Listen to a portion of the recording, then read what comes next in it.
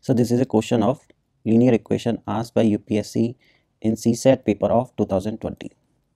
A vessel full of water weigh 40 kg. If it is one third filled, its weight becomes 20 kg. What is the weight of the empty vessel?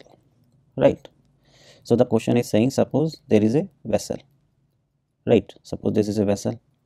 So it is fully filled with water and its weight is 40 kg. Now, in second case, it is one third filled with water and its weight 20 kg. So the asking the weight of empty vessel, right? So if we will try to solve it with without using your pen, you will get little bit confused. So what you can do, let's suppose the weight of vessel is V and the weight of water is W then V plus W is equal to 40 in first case. In the second case, vessel weight will remain same, but the water weight is 1 by third and this is equal to 20.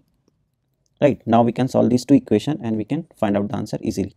Let's deduct them, right. So, if we will minus them, this we will cancel out. So, it will become W minus W by 3 is equal to 20. So, it will become 2 3 right? So this will be how much?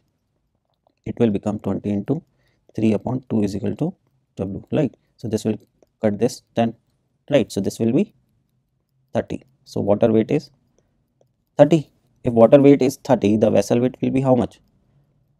10 because the total weight is 40 right? So the question is asking the weight of empty vessel. So it is 10 so the answer is a. Okay see this is very easy question right? But you just need to make a equation in this right? Otherwise through common sense also you can solve it. Okay